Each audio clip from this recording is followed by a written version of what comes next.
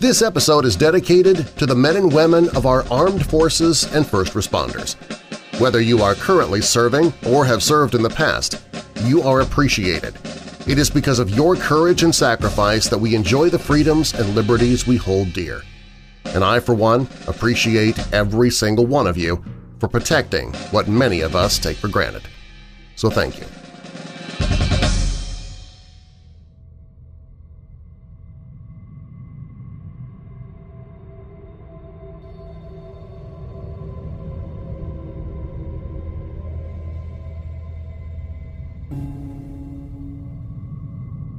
Beginning in 1974, the Smurl family went through one of the worst hauntings ever that lasted 15 years. For an intense two-year period, the family was subjected to a series of physical assaults perpetrated, allegedly, by a mysterious demon and a horde of ghosts. The haunting affected everyone in the Smurl family. Even the dog had a run-in with one of the angry ghosts. Out of all of the families that have claimed to be haunted over the years, the Smurls claim to deal with some of the most aggressive entities of the 20th century. These ghosts lasted for a great part of their lives. The haunting became so bad that the Catholic Church got involved in an attempt to exorcise the demon. Even after the Smurls called in demonologists Ed and Lorraine Warren, they still weren't able to rid themselves of the horrible creatures that seemed set on ripping their family apart, and they ultimately lived with remnants of the haunting for the next 15 years, even after the most vicious attacks seemed to simmer. In the 1990s, the Warrens' experiences trying to rid the Smurls of their hauntings were turned into a made-for-TV movie called, appropriately, The Haunted.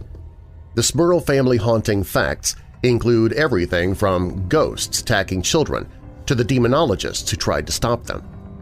The question remains as to whether they truly were evil forces at work and whether the demonologists held any sway over the atrocities the Smurls experienced. I'm Darren Marlar, and this is Weird Darkness.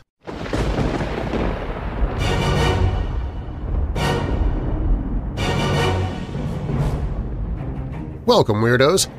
I'm Darren Marlar, and this is Weird Darkness. Here you'll find stories of the paranormal, supernatural, legends, lore, the strange and bizarre, crime, conspiracy, mysterious, macabre, unsolved, and unexplained. Coming up this hour… In 1974, the Smurl family was tormented by supernatural forces so intense the haunting even withstood intervention by demonologists. Who or what was behind the terrifying oppression of this previously normal Pennsylvania family? There are numerous tales of ships simply disappearing without a trace. Some are never heard from again. Others have created legends that terrify sailors to this day. The 1992 runners came across a gruesome discovery in a South Wales state park a dead body, but it was only the beginning of what quickly became a string of murders by a serial killer. And Weirdo family member Jan Daniels relates events that happened to her on a new job, with odd happenings in the women's restroom, among other things. Plus, in tonight's sudden death overtime in the podcast after the show, Azrael is known by many names in numerous cultures, but he is most famously, or infamously known, as the Angel of Destruction, and not only are his powers terrifying, so is his appearance. If you're new here, welcome to Weird Darkness. If you're already a member of this weirdo family, please take a moment and invite someone else to listen with you. Recommending Weird Darkness to others helps make it possible for me to keep doing the show. And while you're listening, be sure to follow Weird Darkness on Facebook and Twitter and visit WeirdDarkness.com to find the daily Weird Darkness podcast. Watch streaming B-horror movies and horror hosts 24-7 for free. Listen to free audiobooks that I've narrated. Send me your own true story of something paranormal that's happened to you or someone you know, and more. You can find it all at WeirdDarkness.com. Now bolt your doors, lock your windows, turn off your lights, and come with me into the Weird Darkness.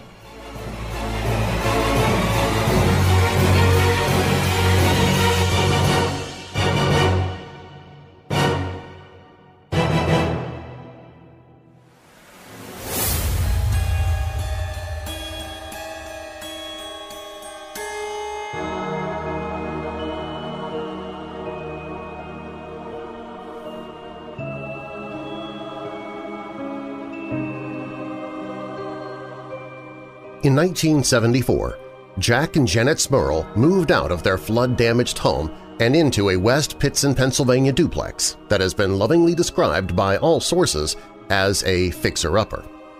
Jack, Janet, and their kids lived on one side of the duplex while Jack's parents, John and Mary, lived on the other. It didn't take long for the haunting to start. The first instances of their ghostly visitors were benign. A tool would go missing. A stain on the wall would seep through the paint. Nothing too scary. But then kitchen appliances started to go up in flames, even when they weren't plugged in. And then there was the smell. The odor wafted through the house at random intervals and was absolutely stifling. During his investigation, Ed Warren described the smell as something akin to rotting flesh. Shortly after the haunting began, Mary suffered a heart attack and the family began to struggle to pay bills. It seemed the haunting was taking a toll on more than the family's living space. One of the creepiest ways in which the haunting manifested was the sound of it. Moans and blood-curdling screams ripped through the house at all hours of the day and night. Many of the chilling sounds reportedly took on the voices of the Smurl family, a particularly cruel way to haunt the family. It wasn't just the Smurls who heard the ghostly sounds either. Allegedly, their neighbors claimed to hear screams coming from inside the house when no one was home. As the weeks went on, the haunting increased from sounds to floating black creatures and shadow people. Self-taught, self-proclaimed demonologist Ed Warren later claimed that he saw a mucus-like, smoky-type substance that began to whirl and materialize on the mirror, spelling out filthy obscenities, telling me in no uncertain terms to get out of the house. The creature, or creatures, haunting the Smurl family were hell-bent on ripping the family apart.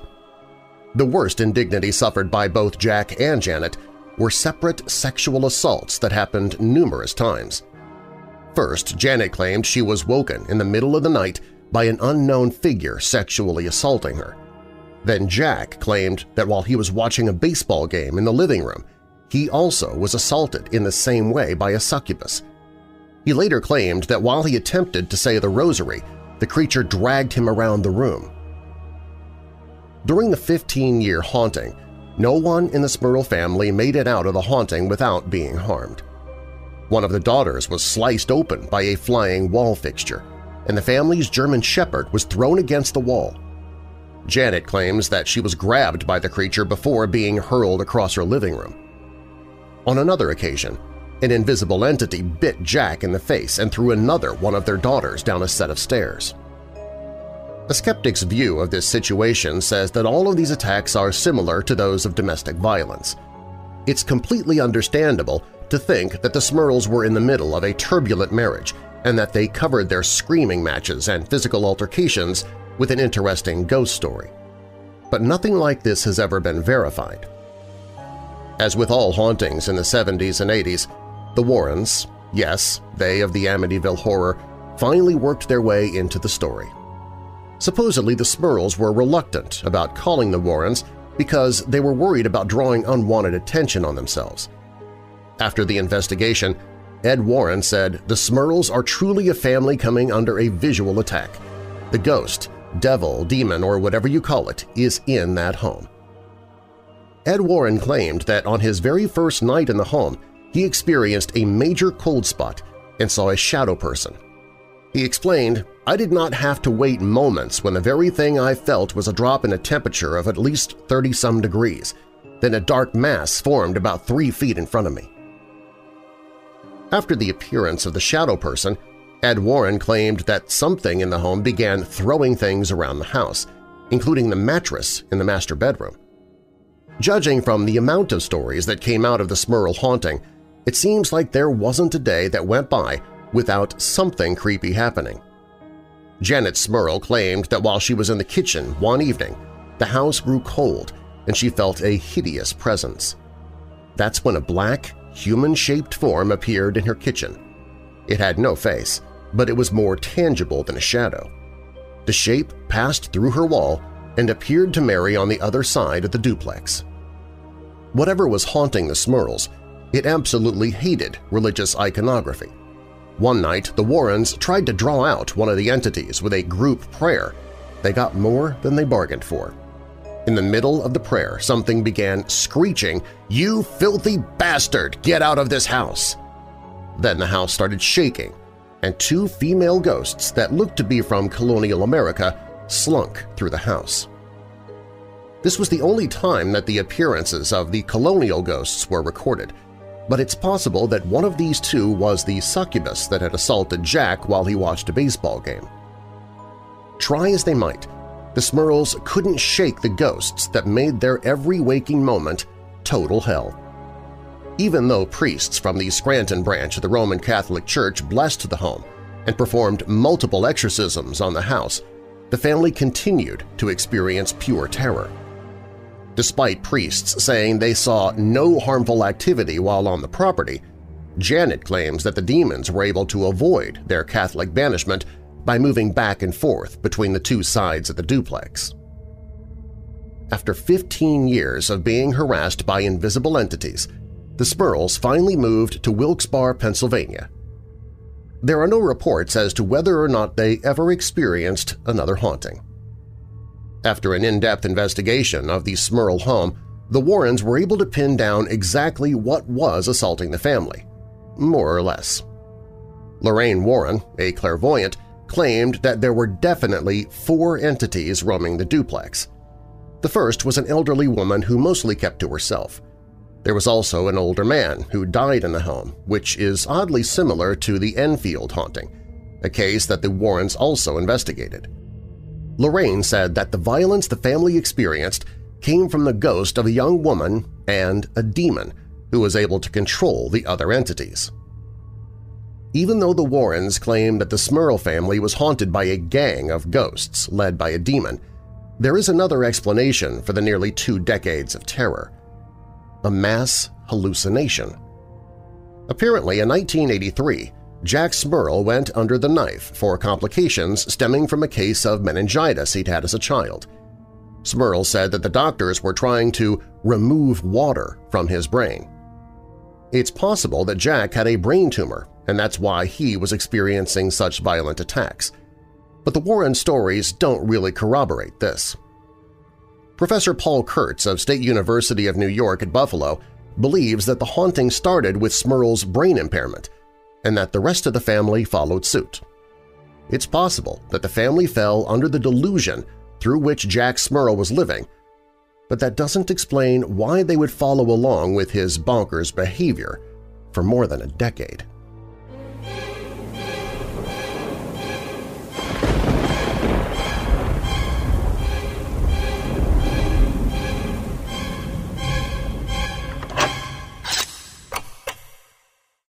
Hey Weirdos, have you signed up for the Weird Darkness email newsletter? It'll keep you up to date on what's happening with the podcast, when our next Weirdo Watch Party will take place. You can see when the next sale in the Weird Darkness store is scheduled, and more. Sign up for the Weird Darkness email newsletter for free at WeirdDarkness.com. The town is Standard, a small Midwestern town where nothing ever happens. Quiet, peaceful, and tucked away among the cornfields and away from the dangers of the outside world. Unfortunately, there is nothing normal about Standard. There has been an evil that has been awakened, and now the residents are slowly going crazy. Men for no reason are coming home and murdering their families, and dark forms are appearing in people's mirrors. The evil is spreading, and now it's up to ex-Chicago cop Rob Aletto to find it. Time is running out, and the neighbors are becoming quiet shadows as they watch him. He doesn't have long before it'll start to get into his mind, and then he himself would be making that deadly trip home. Inside the Mirrors by Jason R. Davis, narrated by Weird Darkness host Darren Marlar. Hear a free sample or purchase the title on the audiobooks page at WeirdDarkness.com.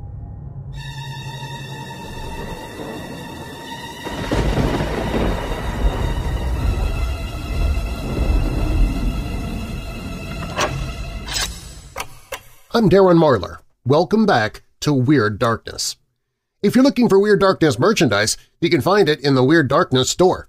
You can search through all the merchandise right now by clicking on Store at WeirdDarkness.com.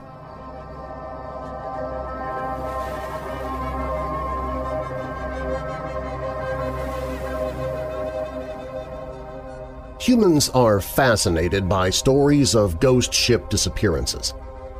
Why? Because humans are drawn to tales that leave us without answers. Stories of ghosts, the supernatural, alien intervention, and conspiracies may sound like something from science fiction, but these are the stories that have captured the human imagination since they first came to us through newspaper headlines and the mouths of whispering sailors. These are the stories of ghost ships that haunt the high seas and the minds of everyone who reads about them. These are ships that disappeared without a trace, that simply stopped sailing, and that may have even murdered their own crews. History proves over and over that sometimes the truth is stranger than fiction. These are stories of eerie ghost ships that really happened, and nobody can explain how. In November of 1872, the captain of the Mary Celeste, Benjamin Briggs, set sail from New York to Italy. He was traveling with his wife, daughter, and eight other shipmates. On December 4th of that same year, the Mary Celeste was discovered abandoned by her crew and set adrift in the Atlantic Ocean. According to the men of the British ship Dei Gratia who found her, the ship was completely intact with plenty of food and water to last her six more months of sailing. The ship's log was written up to the 24th of November. The ship's only lifeboat was missing. To this day, nobody knows what caused the crew and passengers of the Mary Celeste to abandon a perfectly seaworthy ship in the middle of the Atlantic. The only thing anyone knows for sure is that the ship's occupants left in a hurry the captain of the Dei Gratia wrote in his log that the crewmen of the Mary Celeste had left behind their smoking pipes. To him, this seemed a clear sign that the crew had abandoned the ship in a panic. Today, the mystery of the Mary Celeste has still not been explained. Many theories have been broached, including mutiny, madness, and murder, but none have held water. In June of 1947, an officer aboard the British vessel the Silver Star picked up a mysterious, unsettling distress signal. It said, all officers, including captain, are dead, lying in chart room and bridge, possibly whole crew dead. Silence crackled across the line, then one simple sentence, I die. The message was picked up by several other ships in the area, but the Silver Star reached the source first. It was the Dutch freighter Orang Medan, floating adrift in the Straits of Malacca. The Star's officer and crew boarded the ship to find bodies strewn about the decks, their faces fixed in a cry of pain. Even the ship's dog was dead. The bodies were unharmed. There was no sign of injury or attack. Before any further investigation could be done, however, the crew of the Silver Star smelled smoke and quickly abandoned the ship, they boarded their own escape vessel, cut the ties to the Orang Medan, and sailed away. Within seconds, the ship exploded, leaving only empty water and debris in its wake. To this day, no one knows what really happened aboard the Orang Medan in the seconds before the crew of the Silver Star arrived. As far as anyone knows, the ship murdered its captain, passengers, and crew, killing them without a trace. Some people believe the ship was carrying biological weapons manufactured by the Japanese, but the mystery remains unsolved. The ship lives on now in an infamy that rivals the mystery of even the Mary Celeste. I'll tell you about a few more real ghost ships when Weird Darkness returns. Do you have a true paranormal story that has happened to you or someone you know? You can share it by clicking on Tell Your Story at WeirdDarkness.com.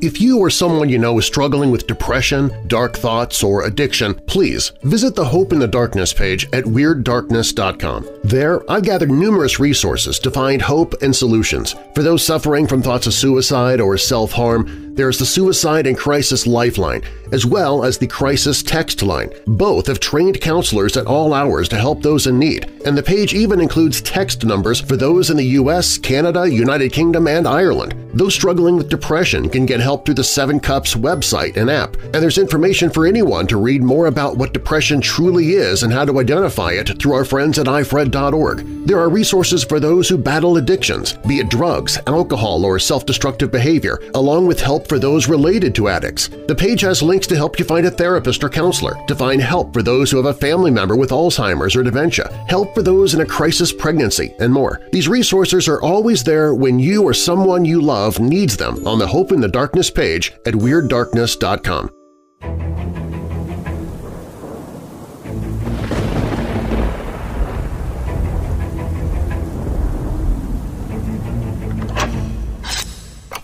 Welcome back to Weird Darkness. I'm Darren Marlar. Have you checked out the Monster Channel? It has horror hosts, B-horror movies, retro television commercials, and a whole lot more, and you can watch it anytime absolutely free 24-7, 365 on the Weirdo Watch Party page at WeirdDarkness.com. Let's get back to looking at ghost ships on Weird Darkness. The Flying Dutchman first appeared in popular folklore in Holland. For years, Dutch sailors told the tale of a cursed sea captain, doomed forever to sail around the Cape of Good Hope. German sailors voyaging in this area of the world corroborated the legend, saying they had seen such a ship. The tale emerged out of folklore and into reliable reports the 19th century. One 1835 ship's log stated that the Flying Dutchman appeared out of nowhere in a storm with all sails unfurled, bearing down on them. Later, in 1881, another ship's log wrote that the Flying Dutchman passed them, emitting an eerie red light. The same red light pops up in a tale told by the other ships in the surrounding area. How many logs and reports constitute a real phenomenon? In 1761, the Octavius loaded up with cargo from China and set sail for London. The crew would never be seen alive again. The captain of the Octavius thought it would be a great idea to try and shorten his trip back to London by making the Arctic Passage, a trip that had never before been made successfully. So they set sail northward. It was a mistake that would cost every crew member his life. The ship went missing for 13 years. Finally, in 1775, a whaling ship, the Herald, was sailing just off the coast of Greenland when it spotted the Octavius floating in the icy waters. The crew of the Herald boarded the Octavius and found the ship's crew frozen solid below deck. The captain of the ship was found at his desk, upright, frozen to death while in the middle of penning a ship's log dated 1762. The crew of the Herald fled the ship immediately, leaving the Octavius to continue to wander the Arctic Ocean. Nobody has seen the ghost ship since. The Young Teazer wasn't an innocent merchant ship or cruise ship making a return trip home. No, the Young Teazer was a pirate ship, an incredibly fast one. In 1813, the Young Teazer had made several successful raids around the coast of Nova Scotia when she was cornered in Mahone Bay by a Nova Scotian schooner captained by Sir John Sherbrooke. Just moments before the British boarding parties could approach the boat, the Young Teazer exploded. According to reports, the first officer of the privateer had been seen rushing to the magazine, fire in hand. The story of the Young Teazer might not seem like something too crazy.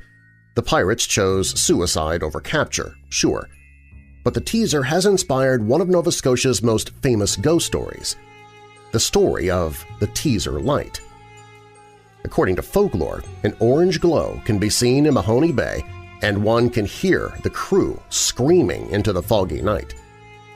Accounts say this happens every year on the anniversary of the explosion, June 27th. On March 1, 1858, the huge steamboat Eliza Battle caught fire in what would become the biggest maritime disaster in Tombigbee River, which flows between Mississippi and Alabama, history. 33 people died. The ship had been loaded with over 1,200 bales of cotton. Sometime during the night of March 1st, a strong north wind began to blow, and somehow the cotton bales on deck caught fire. The flames soon engulfed the ship and the passengers and crew jumped overboard. Today, people still tell tales of sightings of the Eliza Battle floating down the river, wreathed in fire, and the sounds of 33 people screaming in pain and calling out for help. In 1906, the SS Valencia was caught in a terrible storm off the coast of British Columbia. The ship was carrying 108 passengers.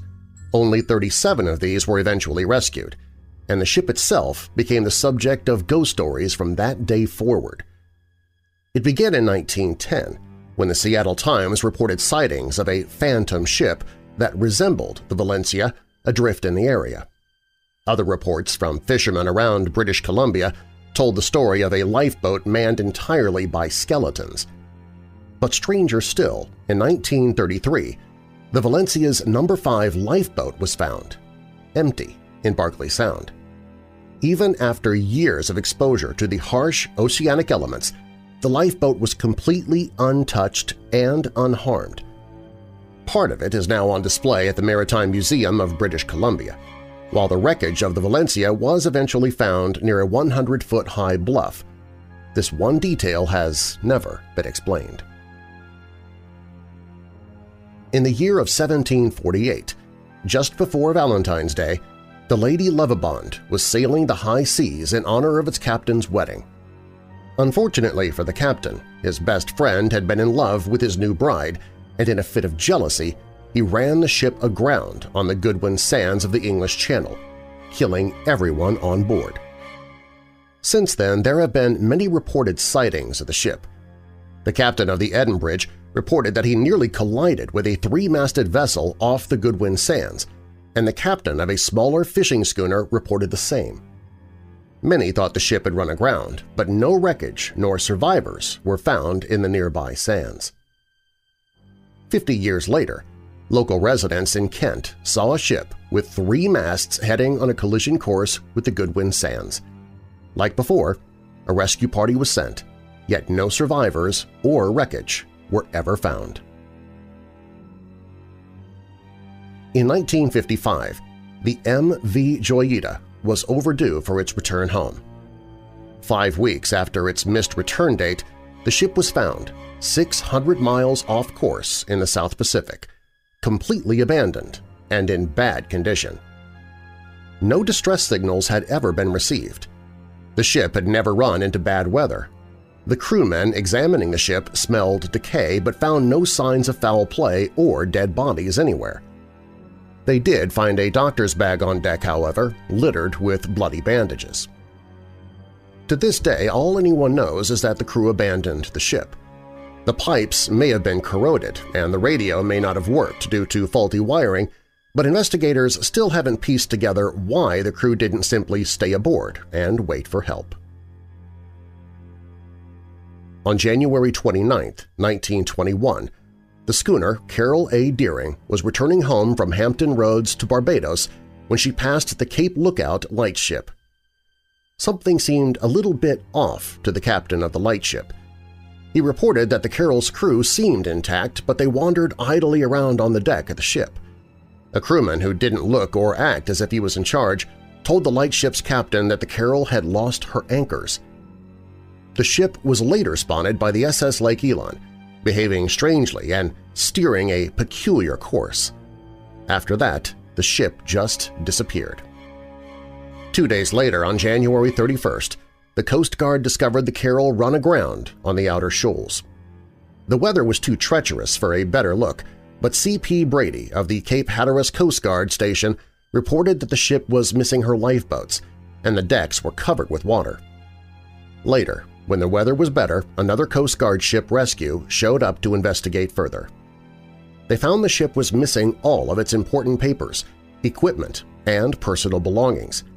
The lifeboats were indeed missing, as were the anchors. This wasn't a strange find for a ship run aground in dangerous waters, but then the crew found something that has baffled conspiracy theorists to this day. A meal, perfectly laid out for the entire crew, untouched. There have been all sorts of theories about this ghost ship. Some believe the crew mutinied. Others think the ship was stolen by rogue Russians. Due to the proximity of the location, some reports even believe the Bermuda Triangle might be to blame for the crew's disappearance. The ship was scrapped in 1921, but the mystery still remains.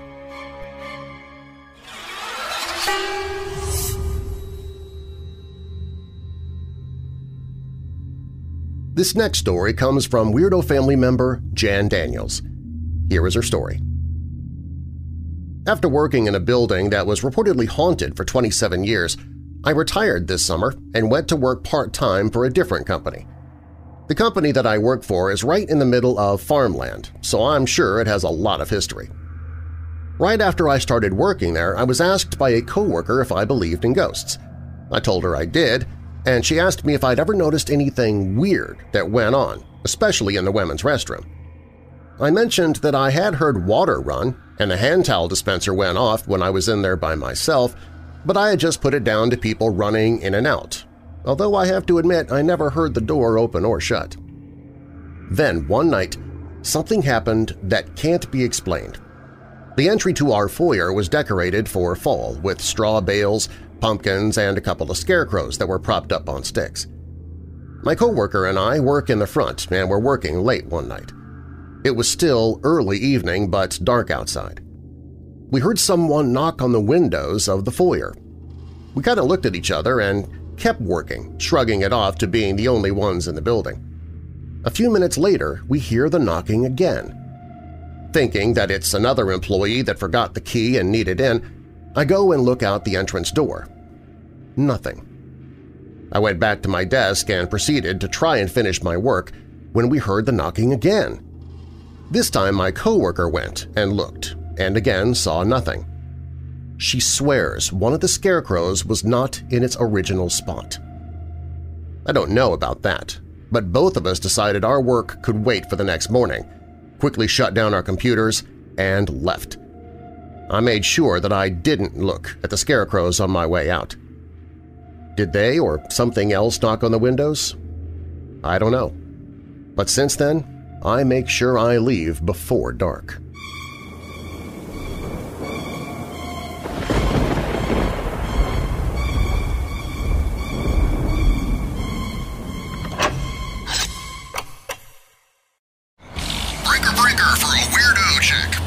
Hey truckers, if you're on the road behind the wheel of a tractor-trailer for a living, I have a contest just for you.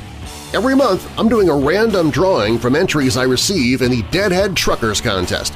Go to WeirdDarkness.com slash truckers and register to win. If I draw out your name, you'll win two Weird Darkness Trucker t-shirts, two travel mugs, a large pillow, and a blank hardback journal. If you listen to Weird Darkness because handling 18 wheels alone on the road by yourself just isn't scary enough, then this monthly contest is for you. Register to win at your next 10100 and visit WeirdDarkness.com slash truckers. That's WeirdDarkness.com slash truckers.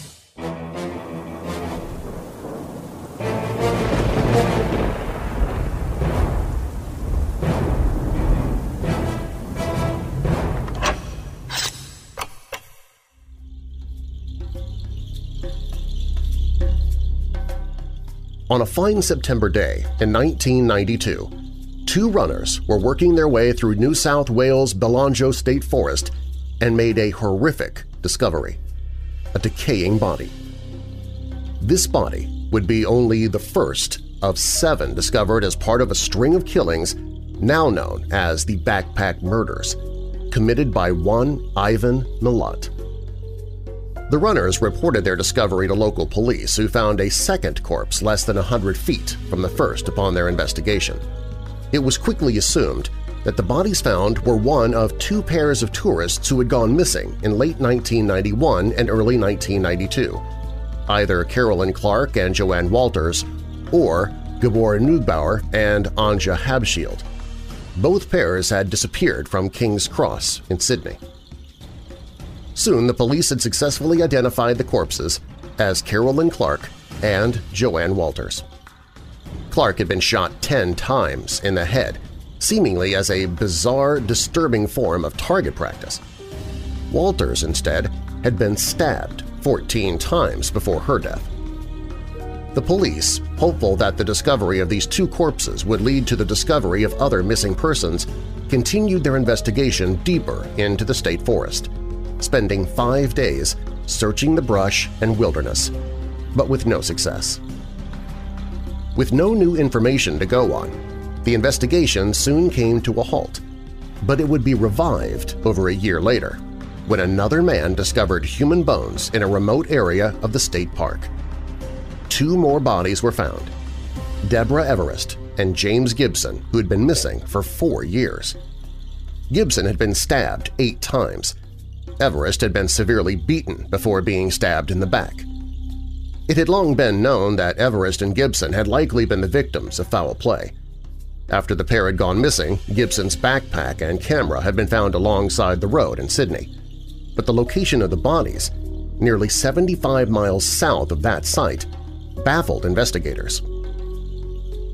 Within a month, three more bodies were found in the forest.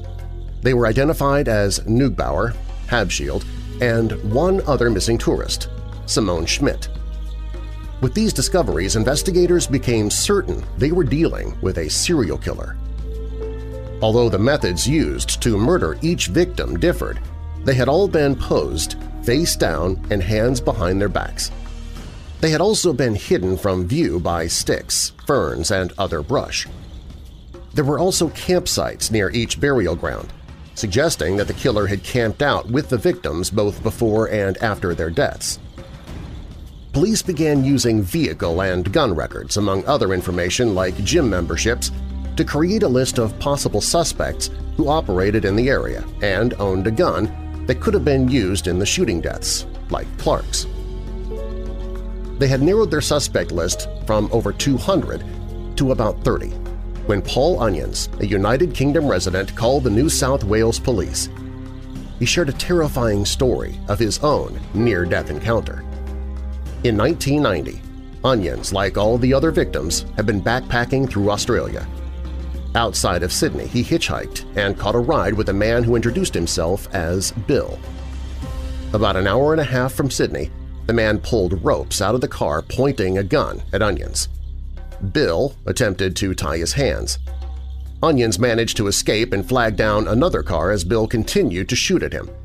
He was picked up by a woman named Joanne Barry. When contacted, Barry confirmed Onion's account. By this point, the suspect pool had narrowed enough that Onion's description of his attacker's large and memorable mustache made it clear that one Ivan Milat was most likely Bill, the perpetrator. Milat and his brother worked on road gangs between Sydney and Melbourne, the killer's main striking ground. He'd sold a car soon after the discovery of the first bodies, and friends and acquaintances reported an obsession with weapons and death to police. Hoping to peg their killer, police flew Onions to Australia to identify his attacker. Once they received confirmation that Milat had attempted to kidnap Onions, police were able to arrest Milat and search his home. An alarming stash of weapons was discovered at Milat's home, including two rifles that fit the gun types used in the seven murders. Even more conclusively, a number of items that belonged to the seven victims had been kept as trophies.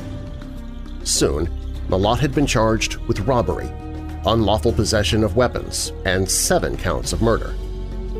In July 1996, Milat was found guilty of the seven murders and of the attempted murder of Paul Onions. He received a life sentence for each victim, with an additional 18 years for his crimes against Onions. He was not made eligible for parole.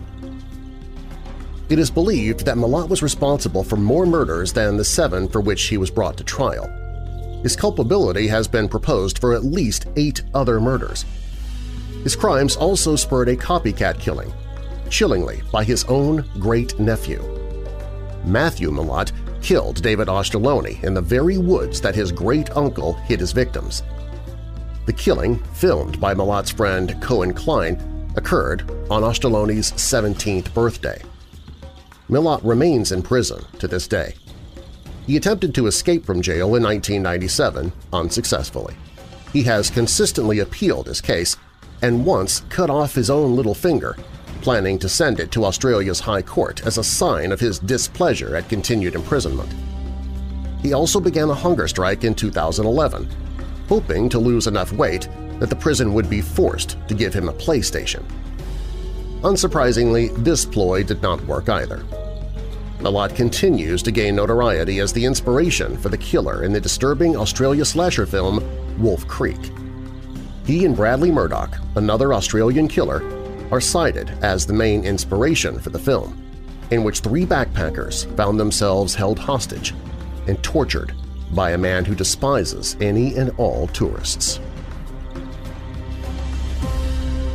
Thanks for listening. If you missed any part of tonight's show, or if you'd like to hear it again, you can subscribe to the podcast where you'll hear not only tonight's radio show, but also the extra sudden death overtime content that I prepared that I didn't have time to fit in. And while the radio show is one night per week, I upload episodes for the podcast seven nights per week. And if you're one of my patrons, you get a commercial-free copy of tonight's show immediately after it's over, including the overtime content. You can become a patron and or subscribe to the podcast at WeirdDarkness.com, or you can search for Weird Darkness wherever you listen to podcasts. You can follow the show on Facebook and Twitter at Weird Darkness, and please tell others about the show who love the paranormal or strange stories, true crime, monsters, or unsolved mysteries like you do. Doing that helps make it possible for me to keep doing the show. And if you'd like to be a part of the show, you can call in to the Dark Line toll-free and tell your own true paranormal story or a story that happened to someone you know. That number is 1-877-277-5944. Again, the toll-free number is 1-877-277-5944. You can also email me anytime on the contact page at WeirdDarkness.com. Weird Darkness is a production and trademark of Marlar House Productions. Copyright Weird Darkness. I'm Darren Marlar. Thanks for joining me in the Weird Darkness.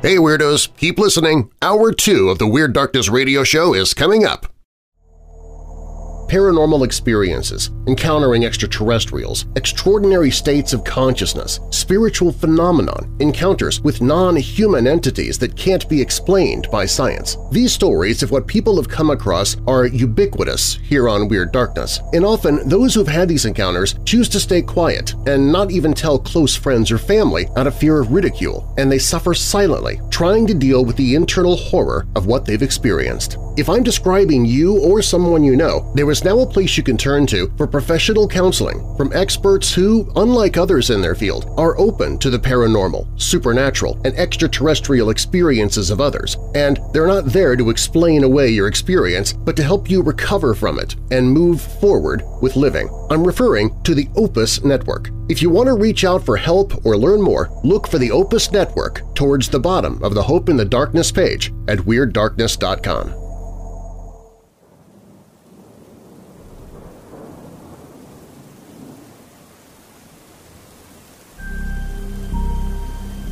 humanoid. Tall.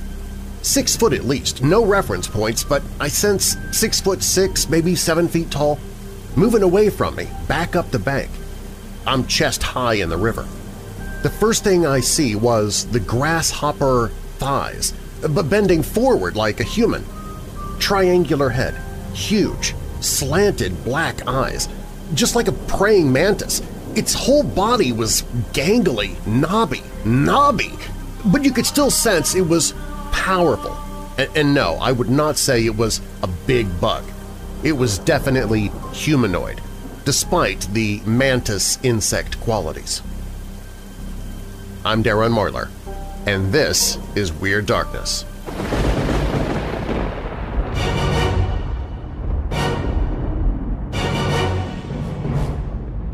Welcome, Weirdos! I'm Darren Marlar, and this is Weird Darkness. Here you'll find stories of the paranormal, supernatural, legends, lore, the strange and bizarre, crime, conspiracy, mysterious, macabre, unsolved, and unexplained.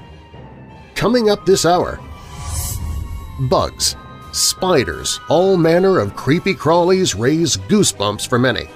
But even those who have no natural fear of insects might run in terror if they see one the size of a human being. And that's exactly what people around the world have been reporting.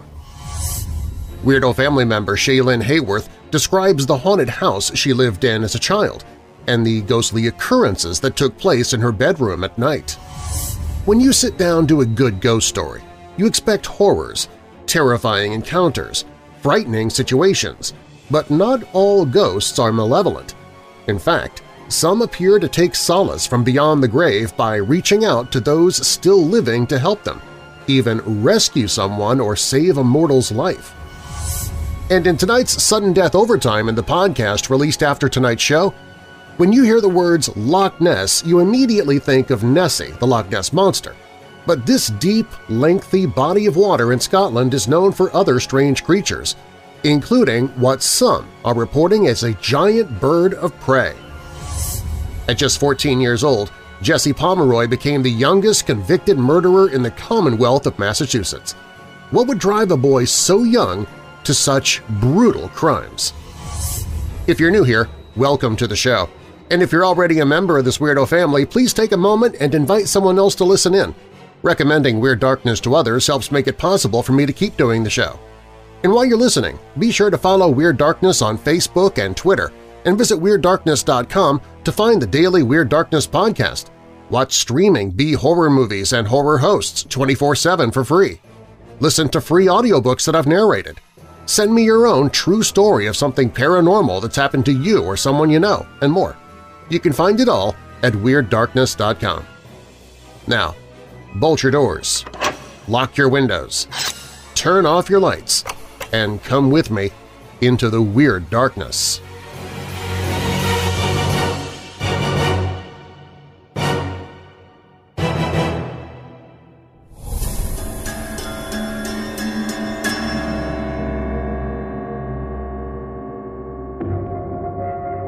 This next story is from Weirdo family member Shaylin Hayworth.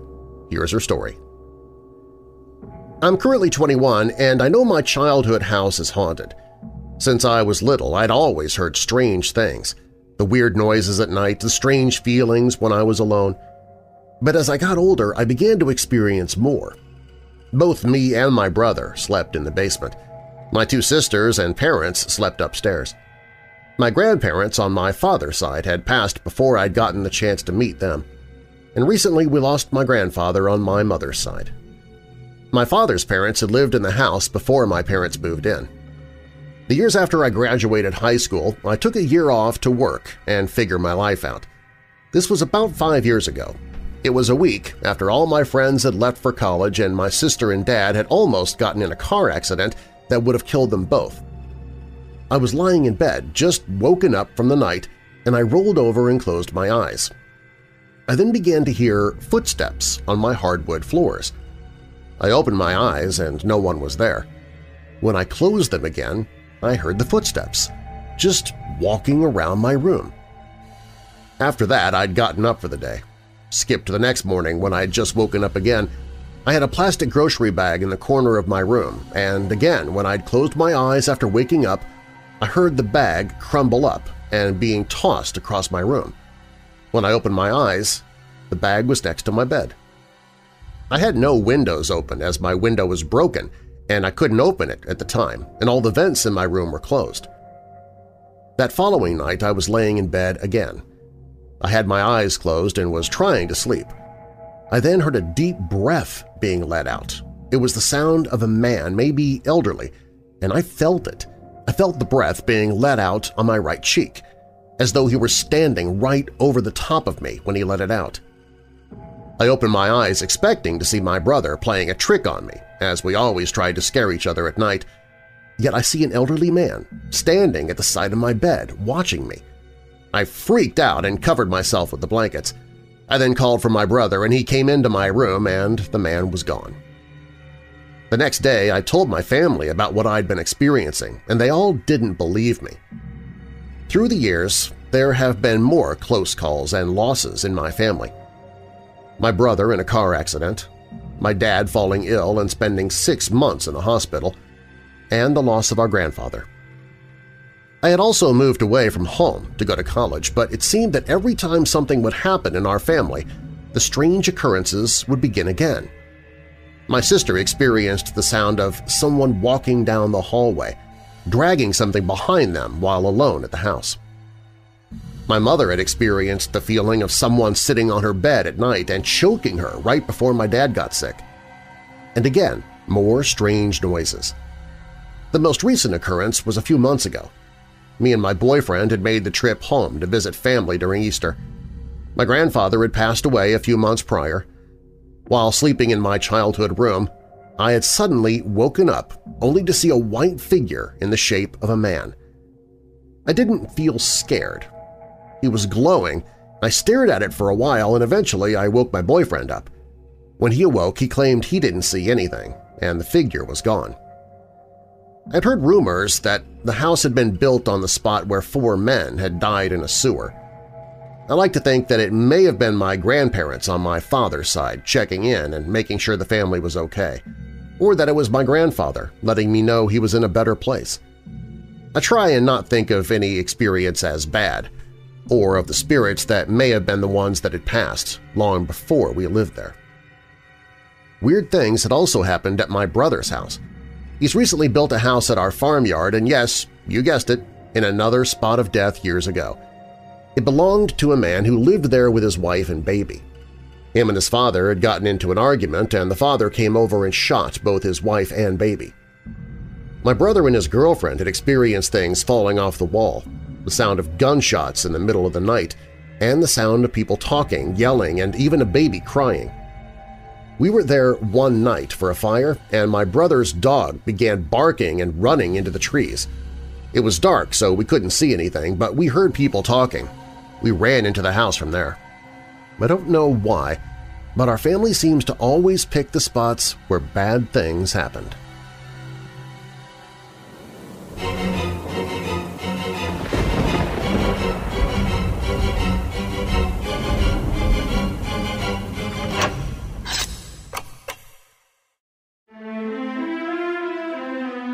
The Lord of the Elements wants to change reality.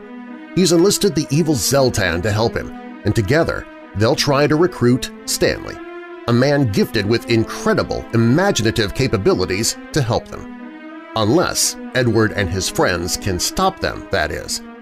A tale of white and black magic, quantum physics, and a plot that twists and turns. If you like science fiction, fantasy, and horror, you'll love The Last Observer, A Magic Battle for Reality by G. Michael Vasey narrated by Weird Darkness host Darren Marlar. Hear a free sample of The Last Observer on the audiobooks page at WeirdDarkness.com.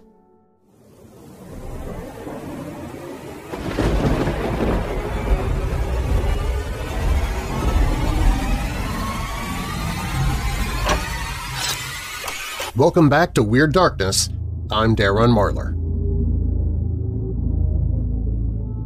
There are more than a few people in this world who find insects, spiders, and bugs of all types to be unsettling at best and revolting at worst.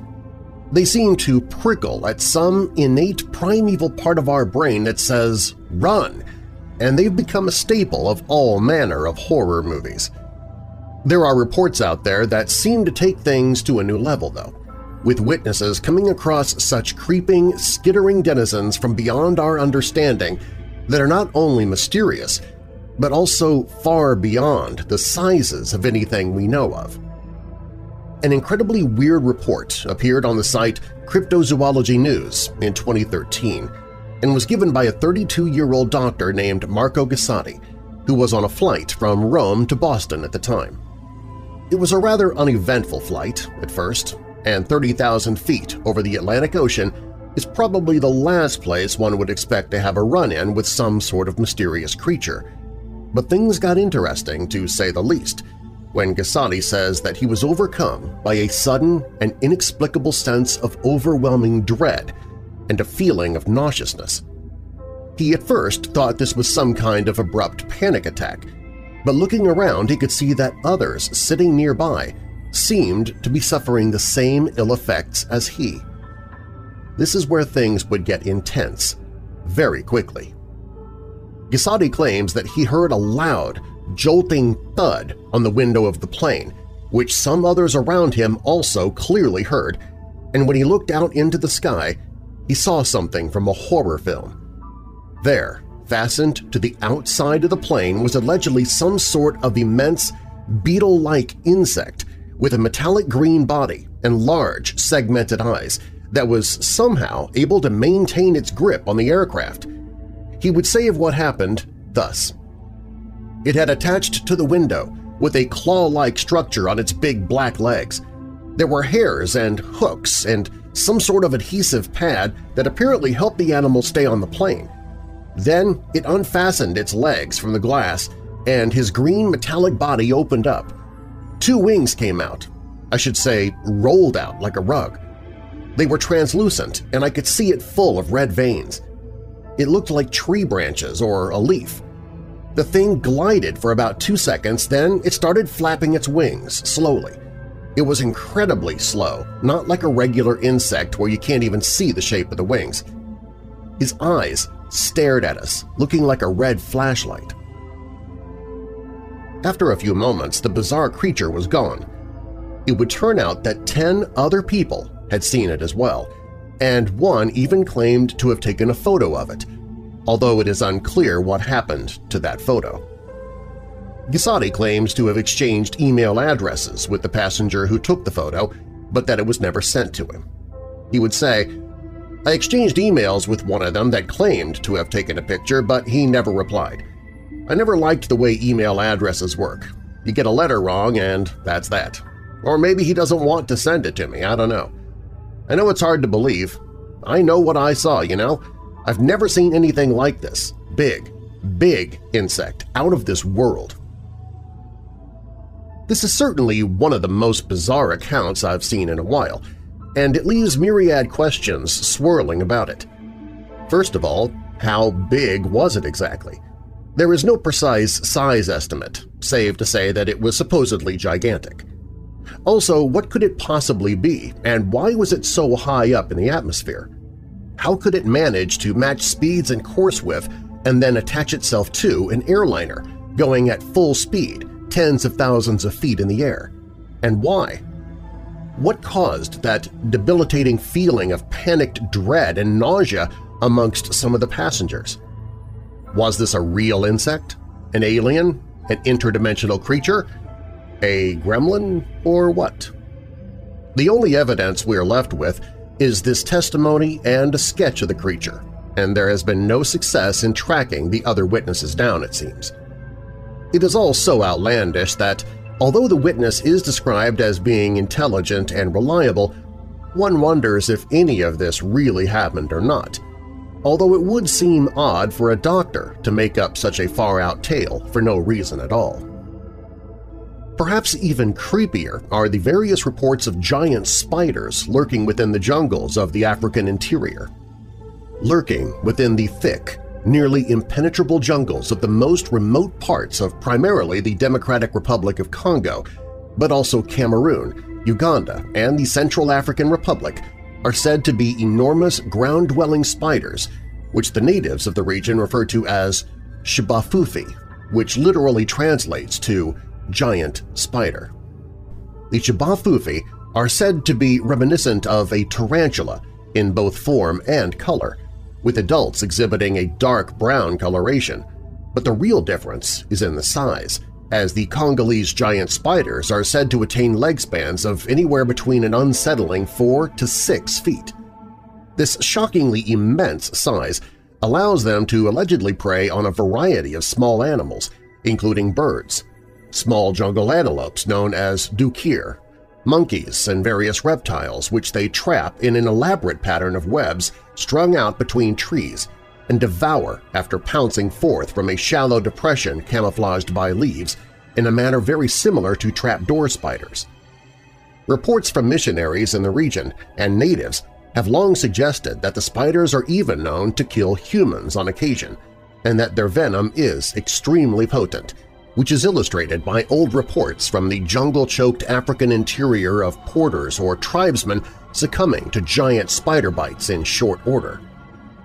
Although explorers, missionaries, and natives had long told of seeing these massive spiders in the depths of the African jungle, perhaps the report that most thrust the J'ba Fofi into the spotlight was a sighting made by Reginald and Marguerite Lloyd in 1938, and which was chronicled by cryptozoologist George Eberhart.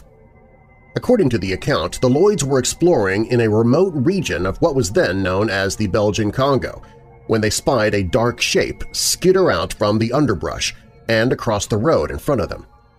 At first, the couple thought it was merely some sort of cat, monkey, or some other common jungle animal and stopped their truck to avoid hitting it and let it pass.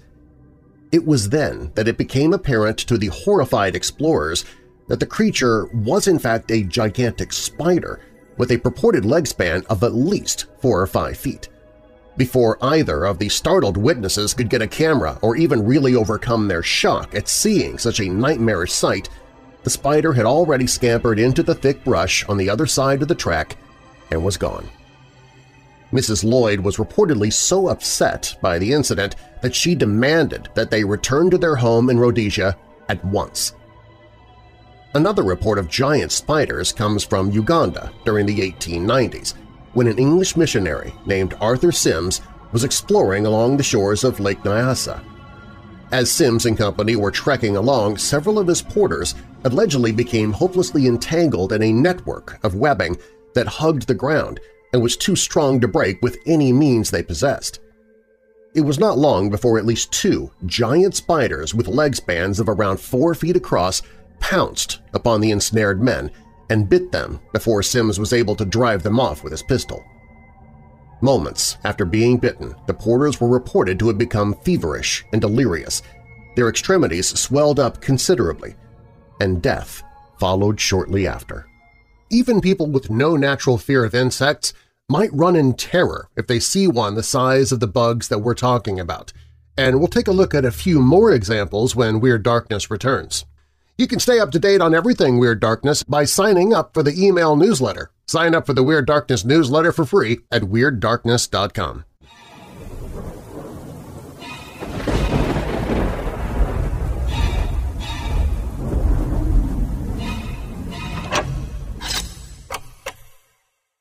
Coffee. It's a necessity. Most of us can't be bothered to even be civil to our families until we've had our first cup of joe. I can drink coffee all day, and often do, and now I've chosen an exclusive coffee just for the task – Weird Dark Roast Coffee. I love chocolate, I mean who doesn't, so I specifically asked for a blend with at least a hint of cocoa, and Evansville Coffee, who roasts each bag to order, knocked it out of the park when they sent me a bag to taste test for approval. Weird Dark Roast coffee has deep notes of cocoa, caramel, and a touch of sinister sweetness that makes it great hot or cold. Personally, I like to put a little milk in it when I'm drinking it hot, but it is amazing, black and poured over ice. But now you can drink it too. And the only place you can find Weird Dark Roast coffee is at WeirdDarkness.com. I'm so sure you'll love it that we've even set it up for you to get free delivery on your first order if you use the promo code WEIRD.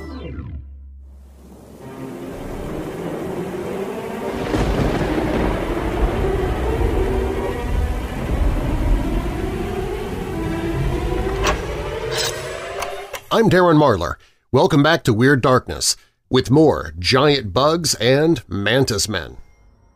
There are also accounts of giant spider sightings from several other expeditions into the region in search of yet another cryptid, the saurian dinosaur-like Mokele-mbembe. Such expeditions often heard stories from the natives about the J'ba or even saw the spiders themselves. In fact, one naturalist and cryptozoologist, William J. Gibbons, was able to glean more detailed information on the J'ba during one of his many expeditions to the Dark Congo in search of the Mokele-mbembe.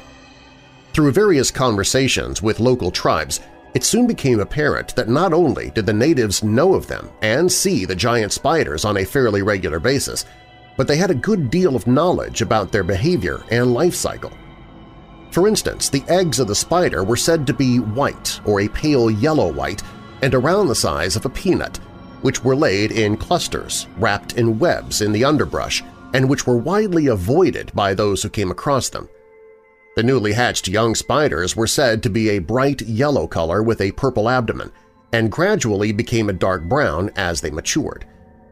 Their preferred method of hunting was said to be laying an ambush for prey by weaving a series of webs between trees on either side of a game trail and lying in wait within a ditch covered with a pile of leaves, woven together with webbing and said to be reminiscent of a pygmy hut. The natives claimed that the venom of the spiders was powerful enough to drop a full-grown man in seconds.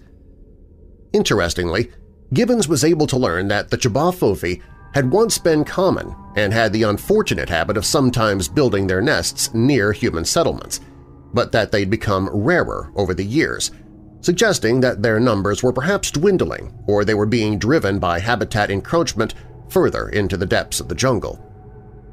Gibbons was able to track down accounts of giant spider activity in the steamy jungles of Africa as recently as the year 2000 when he heard from a chief of the Baka tribe that a J'ba Fofi had built a nest near his village in the wilds of Cameroon. Gibbons' information is very intriguing not only for its detail, but also because it demonstrates that the tribes of the area saw the J'ba Fofi as a very real flesh-and-blood creature and a real part of their world.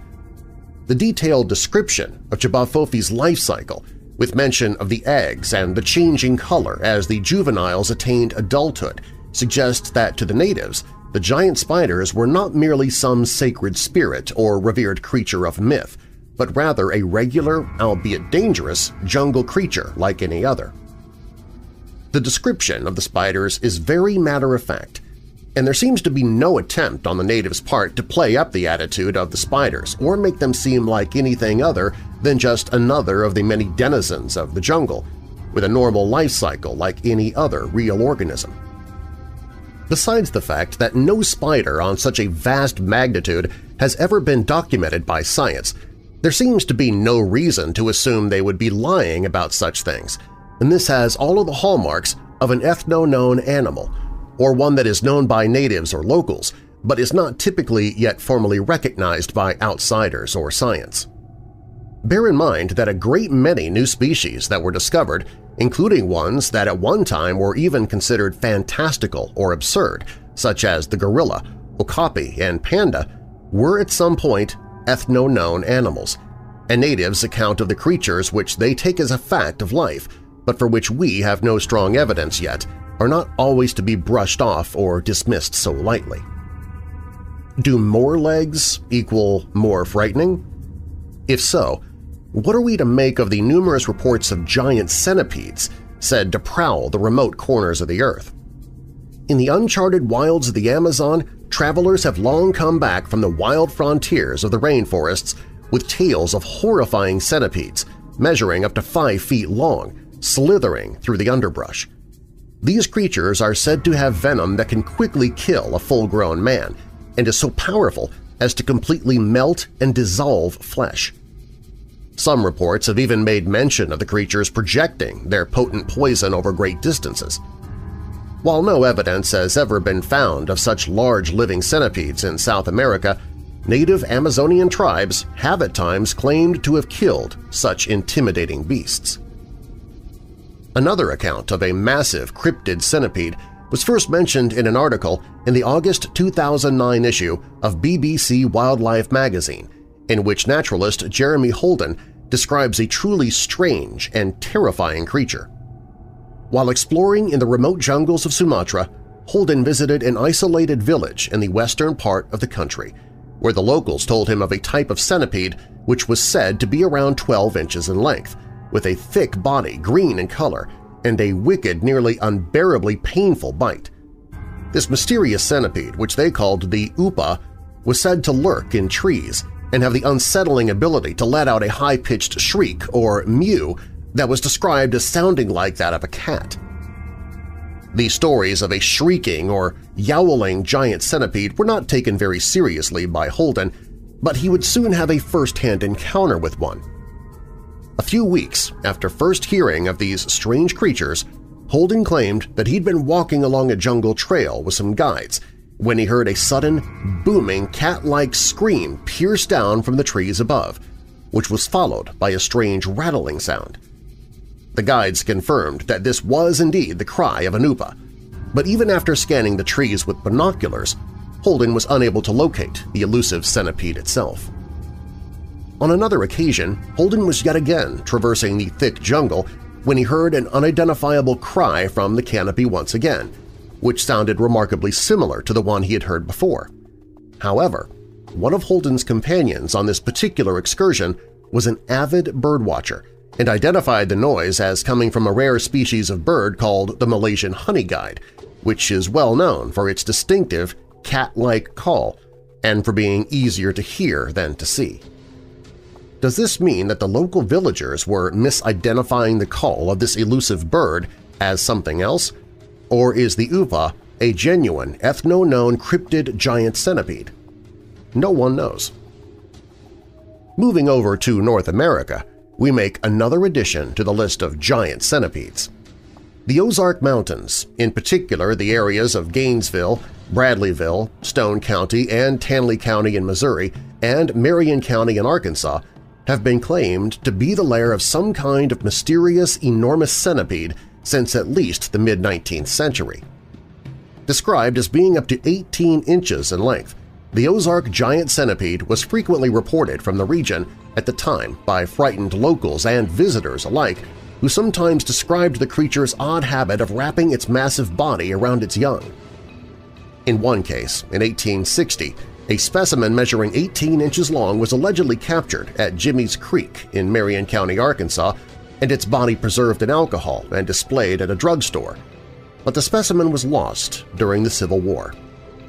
Another case tells of a young boy who was attacked by one of the giant centipedes and bitten, after which the flesh of his leg literally rotted off, crippling him for the rest of his life.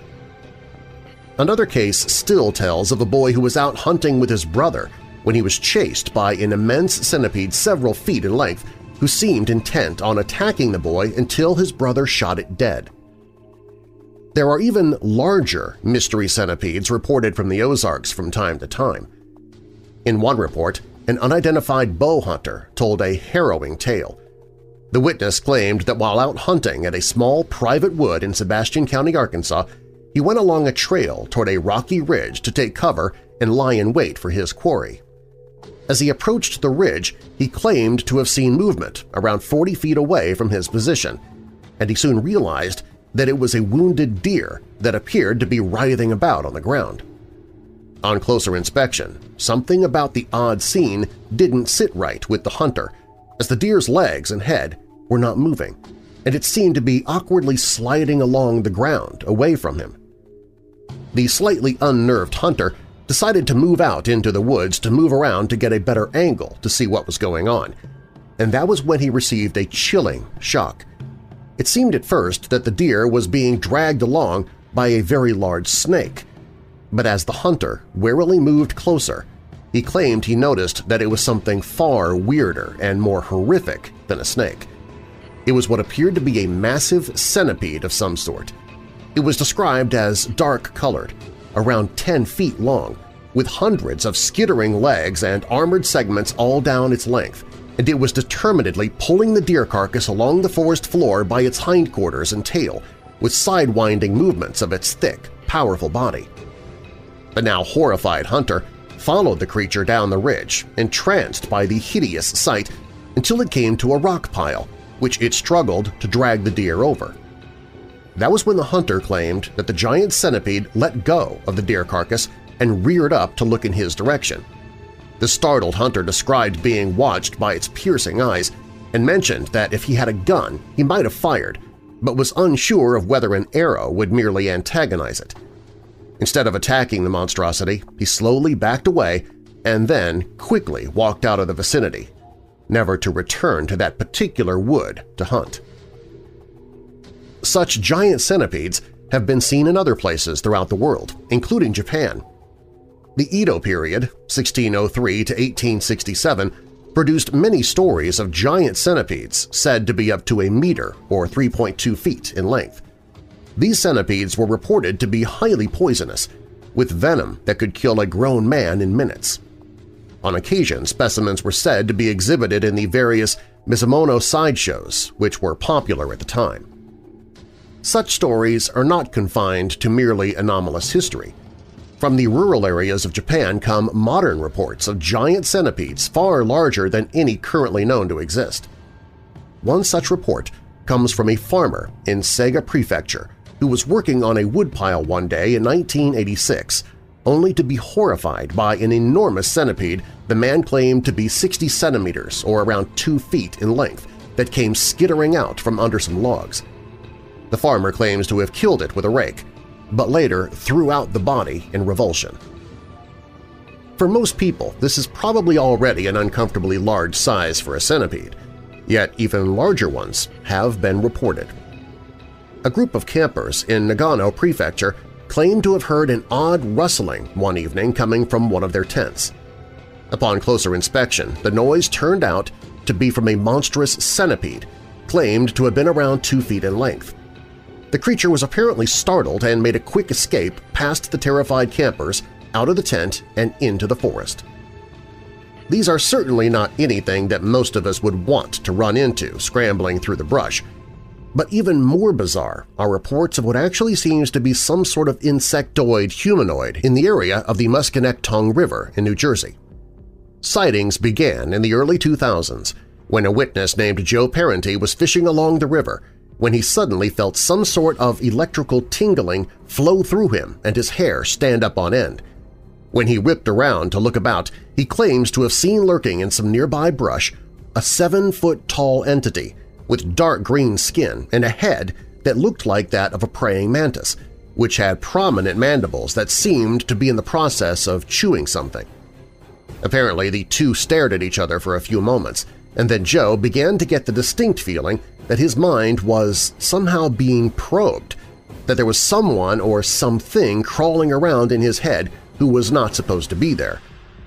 He began to back away, slowly, and that was when the Mantis Man would unfurl a pair of immense wings, after which it was enveloped in a sudden creeping mist and vanished without a trace. In 2006, there was another report of a similar creature from a witness named Paul Jacks, who had also been fishing along the same river. The witness would describe the sighting on the site Phantoms and Monsters as humanoid, tall, six foot at least. No reference points, but I sense six foot six, possibly seven feet, moving away from me back up the bank. I'm chest high in the river. The first thing I see was the grasshopper thigh, but bending forward like a human. Then the whole form. He's looking at me over his shoulder, moving up the bank, astonished, amazed. What, that I'm in the water, in a strong current, that I can see him? But yes, we lock eyes, and this creature is astonished. I get the sense that he can't believe I'm in the water, that he can't believe I've seen him, that I'm not perturbed at all. Something of all three, I still don't know. Just astonishment. And he is actually trying to get away from me and the water. Triangular head. Huge, slanted black eyes, just like a praying mantis. Its whole body was gangly, knobby, knobby, but you could still sense it was powerful and no, I would not say it was a big bug. It was definitely humanoid despite the mantis-slash-insect qualities. Interestingly, the creature in this case also seemed to simply dematerialize into thin air as the horrified witness looked on. Yet another sighting comes from Hackettstown, New Jersey, along the same river. The witness claimed to have encountered the same entity in 2011 as he drove along a place called Newburgh Road, and he would say of what he saw, As I drove near the bridge, over the river, I noticed to my left something, uh, I thought a fisherman, standing in the river just off the south bank. I slowed the car and looked closer. It wasn't a person, and it was transparent-like with a weird shape. It moved slowly towards the bank and into the trees. I drove further so I could see it coming out of the trees. That's the last I saw of it. It was tall, eight feet or so, and had long, thin arms hanging off of it. The color was a pale brown, but I could see through it. The head was small compared to the body. There have been other sightings of something weird lurking in the area as well, and it all leaves one to wonder just what in the world it could be. It seems unlikely that there is a real Bigfoot-sized praying mantis that has been lurking in New Jersey undiscovered, so we're probably dealing with either a hoax or something very odd indeed, perhaps something interdimensional in nature or even an alien according to some. Whatever it is, the Mantis Man of New Jersey still gets mentioned in reports on various supernatural forums from time to time. Are we looking at anything possibly cryptozoological in nature? Are these undiscovered creepy crawlies that have simply eluded us, or are they something else? No matter what the origins of the creatures described here may be, such accounts are perhaps enough to cause the skin to crawl for many. They manage to worm their way into some primitive part of our psyche that tells us that these creatures are something to be avoided, especially so if they are as large as anything described here. Whether any of these creatures are real or not, the very idea that some of them skitter and scamper about in the periphery of our knowledge is perhaps enough to be disturbing. And they are certainly not anything someone wants to come across while out in the wilds.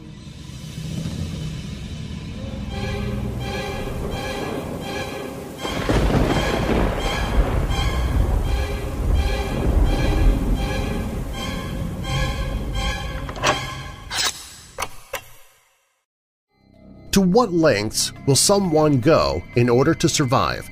Does the survival instinct override their conscience and allow them to commit not only murder but also the taboo act of cannibalism? What happens when a person crosses the line from dark fantasy to real-life acts of brutal rape, murder, and cannibalism? Are these people driven by a desire so insatiable that they're incapable of controlling it? Murderous Minds Volume 3 – Stories of Real-Life Murderers That Escape the Headlines is the latest offering in a series that takes you inside the lives of killers who committed cold-blooded murder for a glimpse at events that drove them to kill. Authored within a historical context, each chapter is an unbelievable venture inside the dark and twisted world of real cannibal killers whose names and crimes might not be familiar to you. By weaving a tale in which dark fantasies become reality, this audiobook invites you to see life from a perspective few ever witness, from that of the killer. Along with a historical look at cannibalism through the ages, these stories beg the listener to answer the question, was the murderer committing cannibalism because he was incapable of resisting the urge to kill and consume? Or is the explanation simply pure evil? Murderous Minds Volume 3 Written by Ryan Becker and Curtis Giles Vasey Narrated by Weird Darkness host Darren Marlar Hear a free sample on the audiobooks page at WeirdDarkness.com.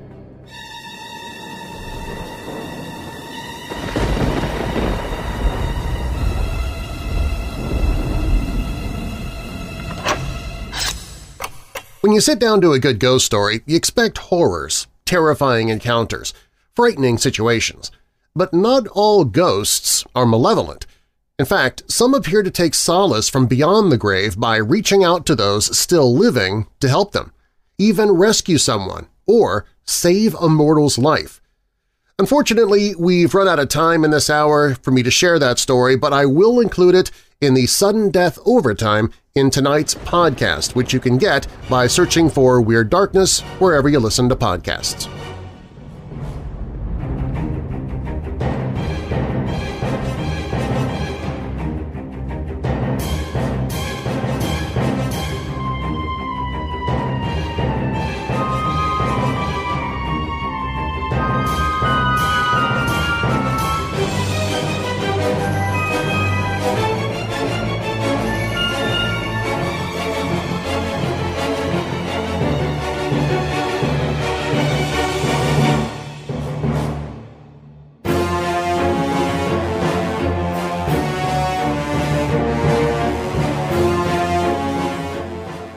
Thanks for listening.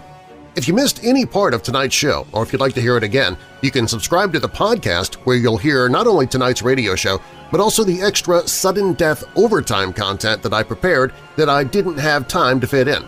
And while the radio show is one night per week, I upload episodes for the podcast seven nights per week. And if you're one of my patrons, you get a commercial-free copy of tonight's show immediately after it's over, including the overtime content. You can become a patron and or subscribe to the podcast at WeirdDarkness.com, or you can search for Weird Darkness wherever you listen to podcasts.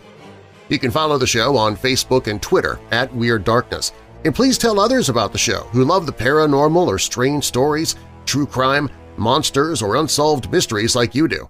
Doing that helps make it possible for me to keep doing the show. And if you'd like to be a part of the show, you can call in to the Dark Line toll-free and tell your own true paranormal story or a story that happened to someone you know. That number is 1-877-277-5944. Again, the toll-free number is 1-877-277-5944. You can also email me anytime on the contact page at WeirdDarkness.com. Weird Darkness is a production and trademark of Marlar House Productions. Copyright Weird Darkness.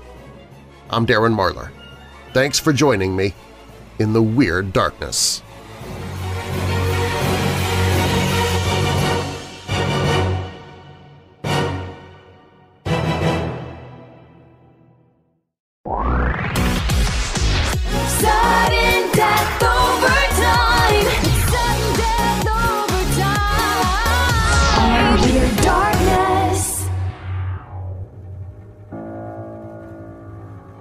Despite being a lesser-known angel, Azrael is an important figure within several major religions, including Judaism, Christianity, and even Islam.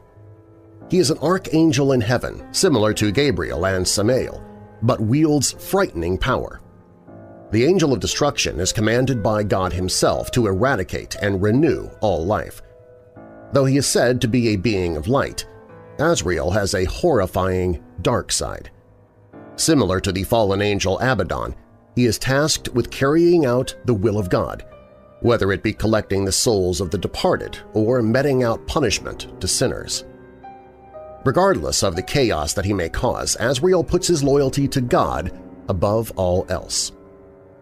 Although none of the various religious texts that mention Azrael pinpoint his exact size, one common theme is that he has a massive form. Azrael doesn't just look like a human with wings. His body stretches across multiple levels of heaven. Azrael is said to have four faces and a body covered in countless eyes and tongues. These features represent the billions of people alive on Earth. Islamic teachings also describe Azrael as having 70,000 feet and 4,000 wings. Although Azrael is commonly regarded as the Angel of Destruction, he also carries other monikers. These include the Angel of the Lord, the Messenger of Death, and simply the Destroyer. It is unclear in some of these cases whether the title is a specific name for the angel or a generic term used for several angels. For instance, the title Angel of Death is also used about Abaddon. He is referred to as such in Judaism. According to Hebrew tradition, the name Azrael translates to whom God helps, nodding to him being a direct servant of God who carries out his wishes. Azrael often carries a huge sword to match his giant form. It not only symbolizes his power and ability as a warrior in defense of heaven, but also of his responsibilities on earth. As an angel of destruction, Azrael must carry out vicious acts at the behest of God. The blade identifies Azrael as a loyal soldier. The angel, like a soldier, slays those that his lord commands. Later depictions of Azrael replace his sword with a knife or a cord to tie around the necks of those he dispatches. Another Hebrew tradition states that Azrael plays a significant role in keeping track of humanity. Some texts indicate he holds a record of every single living person. To do this, Azrael writes down the name of every person in a ledger, which gives them life. When God has ordained the person's passing, Azrael erases their name and ends their life. Azrael is almost always portrayed as an incredibly powerful angel. he holds the ability to command life itself. Traditionally, on the same level as the archangels Michael, Gabriel, and Raphael, he is entrusted with the ability to separate body from soul after he provides God with seven handfuls of earth to help create Adam. In the book of Exodus, the slaying of the firstborn in Egypt was the tenth and final plague set against Ramses for his refusal to free the Israelites. God's followers were to sacrifice a lamb and use its blood to mark their doors so the condition would not affect them. The mark on the door would ensure that those inside would not suffer the destroyer to come into your houses and smite you. While Azrael is not mentioned by name, scholars believe the angel referenced in the text is the same entity who was also called upon to eliminate various other people and locations within the Bible.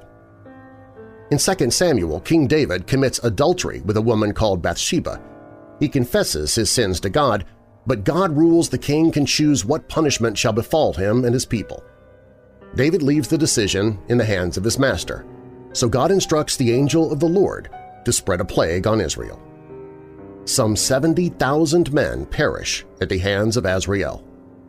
The decimation of Jerusalem is only prevented when God commands the angel to stop his work after David pleads for mercy. In the biblical book of 2 Kings, when the Assyrian army of Sennacherib prepares to strike Jerusalem and defeat Hezekiah, God answers the prayers of his followers and intervenes. Their Lord sends the angel to carry out his will to ensure the city is not besieged. During the night, Azrael slays thousands of Assyrian soldiers and ends the conflict in one swift move. Although the Bible does not mention Azrael by name, it states that it came to pass that night that the angel of the Lord went out and smote in the camp of the Assyrians a hundred fourscore and five thousand.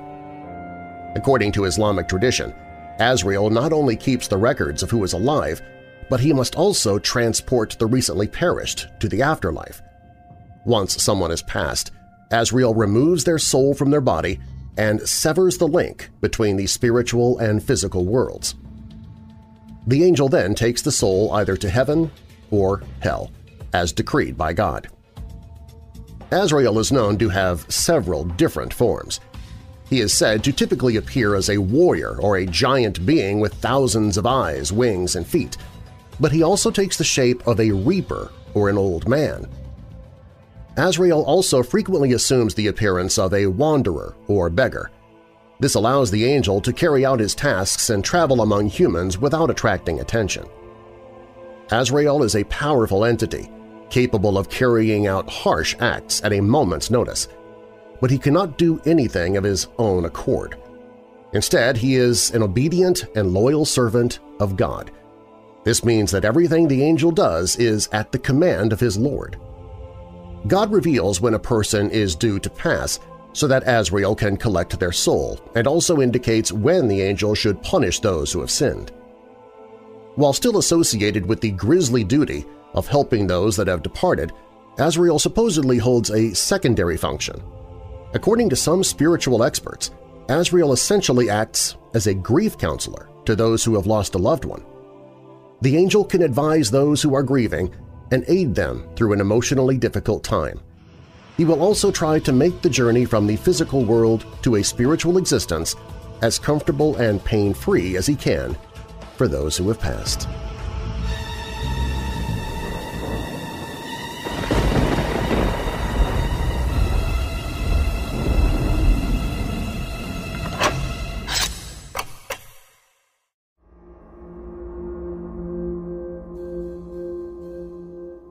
When the topic of ghosts arises, it typically involves poltergeists behaving creepily or maliciously toward the people and locations they happen to haunt. Yet these preconceptions about ghosts overlook the notable times that spirits have reportedly helped people in dire situations. Though deadly ghost encounters may sometimes occur, there are plenty of stories that involve supernatural entities saving the day. People who claim that ghosts saved them have relayed encounters with friendly specters that managed to rescue them or a loved one. There are historical and modern accounts of times when spirits were saviors, meaning that those from beyond might have influenced human history more than anyone ever considered. maybe Casper is only one of the many friendly ghosts in the world. In March 2015, Utah police officers investigated a damaged, partially submerged car in the Spanish Fork River. As they got closer, they clearly heard a young female voice cry out from the car, "'Help me, we're in here!' Police immediately went to work. They pulled the wreck out of the river and tipped it right side up. Inside, they found Jennifer Groesbeck and her 18-month-old daughter, Lily. Jennifer had seemingly passed hours before, so it was unlikely that she was the one who called for help. Lily was barely conscious but alive. The emergency personnel at the scene appreciated the disembodied assist, though they never established the source of the cry for help. As Officer Tyler Beddoes put it, for two nights I've laid awake trying to figure out exactly what it could be. All I know is it was there. We all heard it. It was extra motivation.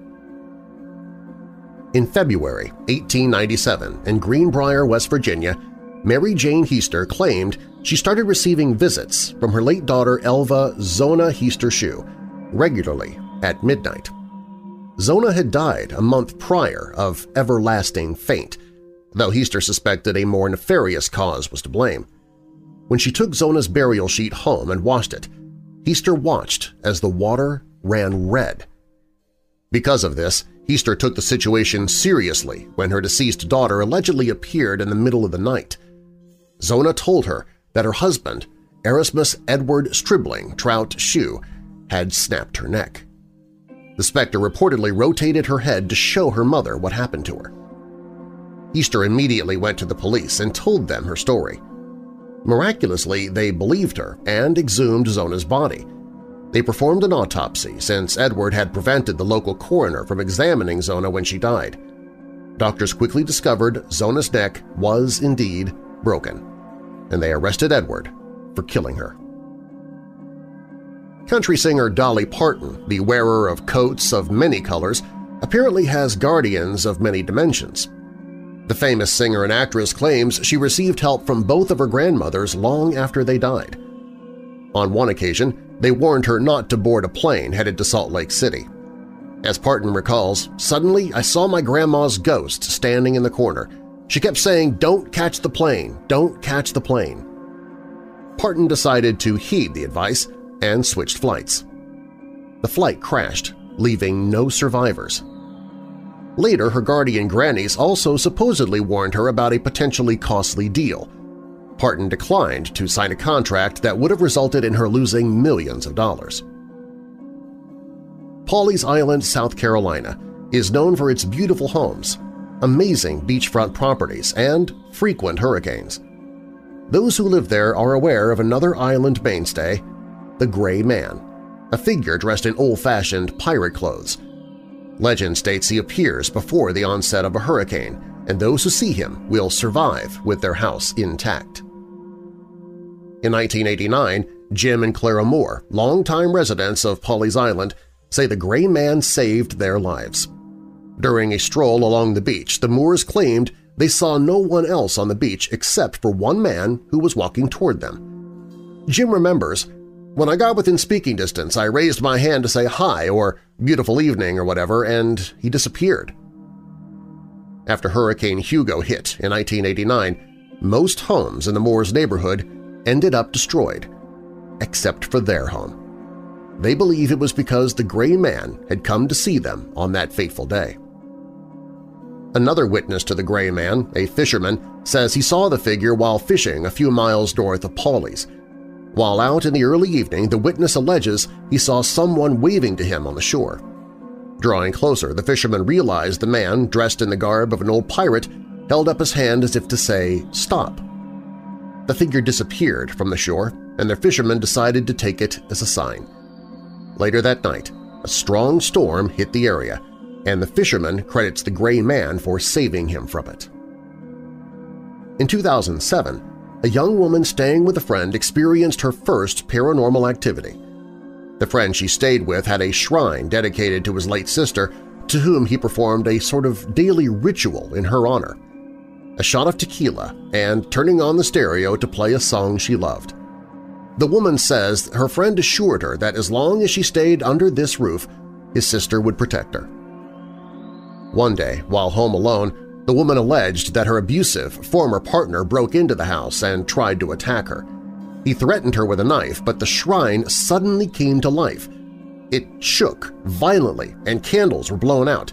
A crucifix flung itself at her attacker, and the stereo on the memorial turned on by itself. He fled. She purportedly never heard from him again. In the early 1900s, a New Jersey farmer by the name of Charles Henry Durand barely escaped with his life, thanks to the warnings that he supposedly got from his late wife. According to his story, as he rode home in a buggy, the horse pulling it suddenly stopped. Within moments, a ghostly woman in white appeared, which Durand recognized as his late wife. Both he and his horse remained frozen in fear as she whispered to him, "'There is danger at home. Stay away till morning.' As frightened as his horse, Durand was forced to spend hours unhitching the animal from the buggy so he could get home.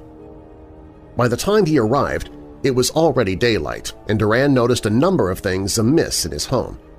A window was open, and muddy footprints covered the floor. Durand also noticed a string stretched across his bedroom doorway. He set it off using his umbrella. It triggered a gun attached to the string, creating a booby trap to shoot anyone who entered the door. Without the warning from his wife, Durand would have been struck by the trap. On Christmas Eve, 2016, Shropshire resident Jane Reynolds sensed something strange afoot in her home but she dismissed it before heading to bed. On Christmas Day at 4 a.m., she claims an unknown force ripped her duvet off her bed and began shaking her. Before she could process this abrupt wake-up call, Reynolds heard banging and screaming from somewhere in her house. Afraid that her sons might be in danger, she ran to check on them. In their room, Reynolds saw one child, Ethan, sleeping silently, while her other child, 18-month-old George, was softly choking. She quickly turned him over and patted him on the back to clear his airway. Later she realized that something or someone must have warned her. Since Ethan was sleeping and George's airway was blocked, who did she hear screaming? Her friends told her that 50 years prior, a family moved out of the house shortly after their baby perished. Reynolds believes the baby who passed had warned her about her own baby George. Northumberland resident Sonia Burton suffered a severe heart attack in January 2016. Arriving to work early that day, Burton began experiencing chest pains before she collapsed. Paramedics arrived on the scene quickly, but they failed to resuscitate her immediately. While the paramedics scrambled to save her life, Burton says that her late husband visited her According to Burton, her husband said, It's not your time, Sonia. Go back to the children. Then she came back to life. The paramedics who rescued her were astounded. They said no one they ever saved remained departed for as long as Burton. On June 6, 1994, Christine Skubish and her three-year-old son Nick set out on the road from Sacramento, California to restart their lives. On the way, Skubish fell asleep at the wheel and crashed 40 feet into an embankment below the road. She passed instantly, but her son Nick survived. Barely. On June 10th, Sacramento local Deborah Hoyt arose from sleep in the early morning, feeling as if she needed to leave urgently. As she and her husband traveled along Highway 50, they came across a woman lying on the side of the road. The couple immediately phoned the police who then investigated the area but found nothing initially. After learning of the Skubish's disappearance, El Dorado County Deputy Rich Strasser decided to return to the site where the Hoyts claimed they saw the woman. Examining the area, Strasser discovered a shoe belonging to a child which led him to discover Skubish's car in the embankment. Though exposed to the elements and on the verge of starvation when rescued, young Nick managed to live through the tragedy. Skubish's family believe it was Christine herself who tried to look out for her son one last time before her final departure. In 2016, three buildings in Omaha, Nebraska were slated for demolition, including the Christian Specht Building. Built in 1884, it was historically significant for being the only cast iron building in all of Nebraska.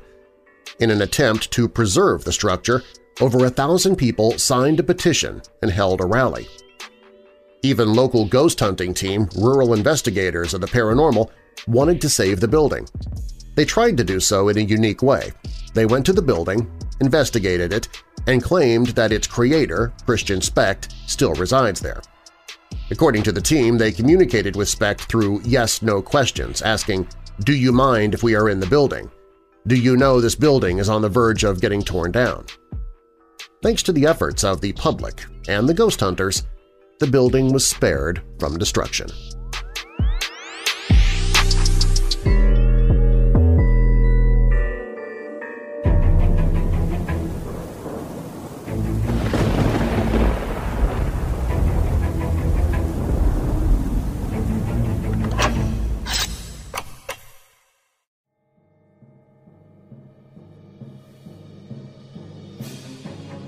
Loch Ness, Scotland. A body of water around 22 miles long is mostly noted for its legendary resident monster, Nessie. It's a fact, though, that Loch Ness has been the site of additional weirdness, not just for years or decades, but for centuries. Long before Nessie was on the scene, Loch Ness was the haunt of water horses and kelpies. They were supernatural shapeshifters that would drag people into the deep water, drowning them and stealing their souls. Aleister Crowley, the great beast, owned a home at Loch Ness. Its name was Boleskine House.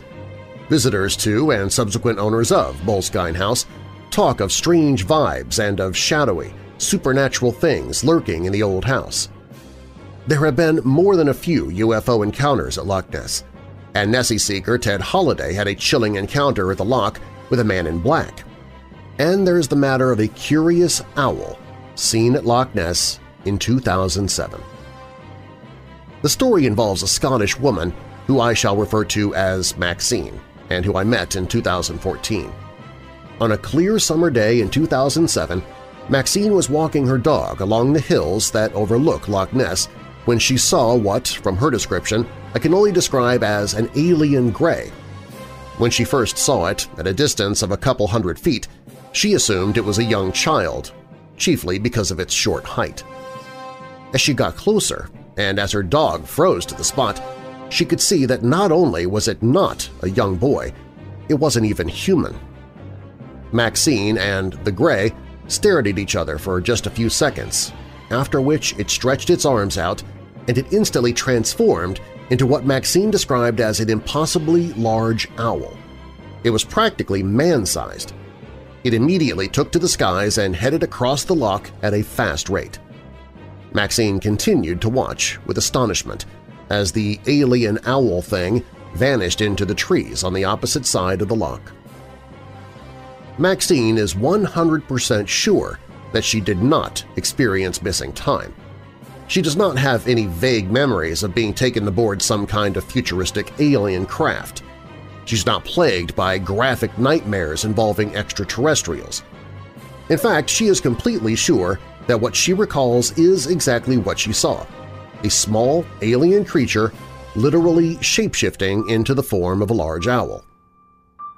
Interestingly, since her experience took place, Maxine has come up with an intriguing theory to try and explain and rationalize the situation. She now believes that the Greys have the ability to transform their physical appearances. This, she also suggests, means that the Greys can spy on us whenever and wherever they choose, without being noticed for what they really are.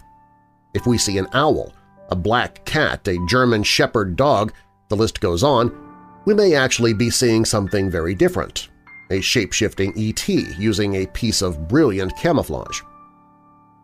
Whatever you may think of Maxine's theory, and her experience as well, the fact is that there are numerous cases of UFOs and aliens being associated with and linked to owls. Check out, for example, Mike Clelland's 2015 book, The Messengers. Its subtitle will give you an idea of its content. Owls, Synchronicity, and the UFO Abductee. The chapter titled Owls as a Screen Memory demonstrates something notable. but the UFO phenomenon often uses the owl motif as a means to mask the real nature of certain UFO encounters.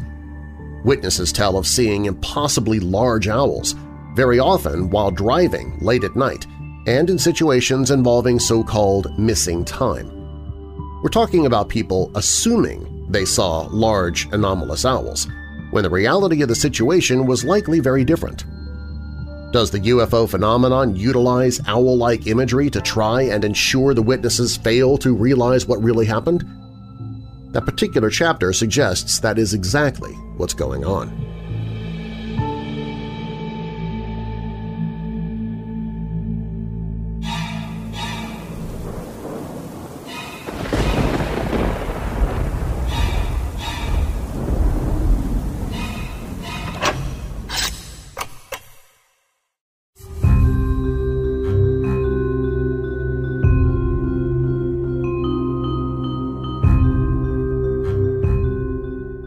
Unfair to categorize children as either naughty or nice, without any shades of gray in between. But in the case of one youngster from 19th century Boston, naughty doesn't come close to describing his sadistic deeds.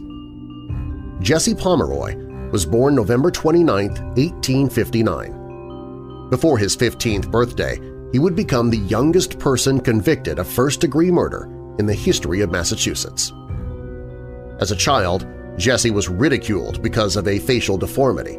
His right cornea was covered with a thick, white film. He kept to himself mostly, reading dime store novels full of macabre tales instead of playing with the neighborhood kids or his older brother Charles. Jesse's father, Thomas Pomeroy, was an alcoholic and physically abused his young son, whipping him regularly. Jesse's mother, Ruth Ann Pomeroy, sympathized with Jesse but did little to stop the abuse. This dismal environment undoubtedly had a negative effect on the boy.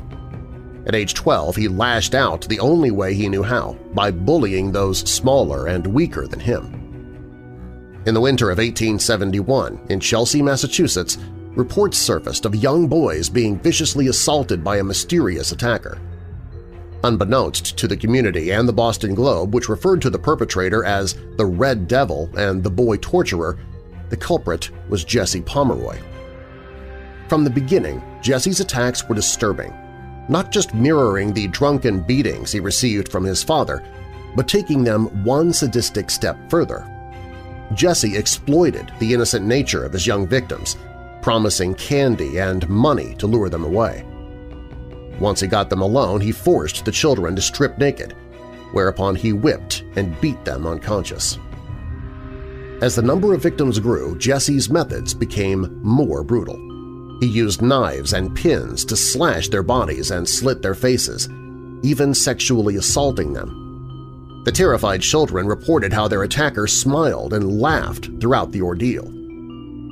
Jesse's mother came across the reports and feared she knew just who was behind the assaults. In an attempt to protect her son, she moved the family from Chelsea to South Boston. Subsequently, the attacks in Chelsea ceased and began again in South Boston, where Jesse continued down his dark road of violence. He targeted local children in much the same way, luring them with promises of sweets to desolate train tracks or the beach. In August 1872, a young boy was discovered brutalized and abandoned along the shore of Boston Harbor. A few weeks later, five-year-old Robert Gould was found bound to a telephone pole, stabbed and bleeding. He was also sexually assaulted. Despite the trauma Robert suffered, he was able to describe his attacker, honing in on the cloudy right eye. Jesse, age 13, was caught soon thereafter. A juvenile court found Pomeroy guilty of the attacks and sent him to the State Reform School of Westboro, where he would remain until he turned 18 years old. Jesse's one champion, his mother, did everything she could to get her son released, including striking up affairs with influential police officers. Ultimately, her efforts proved successful. In February 1874, the state agreed to release Jesse into Ruth Ann's guardianship. Pomeroy was a free boy. By now, Jesse's abusive father was out of the picture. Ruth Ann supported her family by operating a dressmaking store, while her eldest son worked a paper route. Jesse would have plenty to do to keep him out of trouble. Or so his mother thought. A month after his release, Jesse's actions turned deadly. On March 18, 1874, nine-year-old Katie Curran went missing. The last place that she had been was the Pomeroy shop where Jesse now worked. Police talked to Jesse, but discovered nothing. A month later, two brothers made a grisly discovery in a sandy ditch in Dorchester Bay. The naked body of four-year-old Horace Millen had his throat slit and was stabbed multiple times in the chest, groin, and even the eyes. Police were able to link the crime to 14-year-old Jess, who was seen fleeing by witnesses and whose shoe prints matched those in the sand. He also had scratch marks on his body and blood on his clothing. Upon Jesse's second arrest, Ruth Ann was forced to close her dressmaking shop. No one in South Boston wanted to patronize the Pomeroys. New owners moved into the empty storefront in July where they uncovered the decomposing body of a child in the basement. The remains were quickly identified as Katie Curran. The facts of the murder soon unraveled. Katie had come into the family shop to buy a notebook. Jesse lured her to the basement, attacked her from behind, and slit her throat. He then mutilated her body in much the same way he had brutalized Horace Millen's. Afterward, Jesse buried her under a pile of ashes. Initially, Jesse confessed to the murder. I couldn't help it, he claimed. Later in life, he would amend his confession. In a rambling autobiography penned while incarcerated, Jesse alternately maintained his innocence and claimed insanity. In December 1874, young Jesse Pomeroy was found guilty of first-degree murder. He was 14 years old. The judge initially sentenced Pomeroy to death by hanging, but Massachusetts Governor William Gaston refused to sign a warrant for his death on account of his age. Instead, Jesse spent the rest of his life in prison, part of it in solitary confinement, which began just shy of his 17th birthday in Charlestown State Prison. He died in the Bridgewater Hospital for the Criminally Insane at the age of 71 on September 29, 1932. Sudden death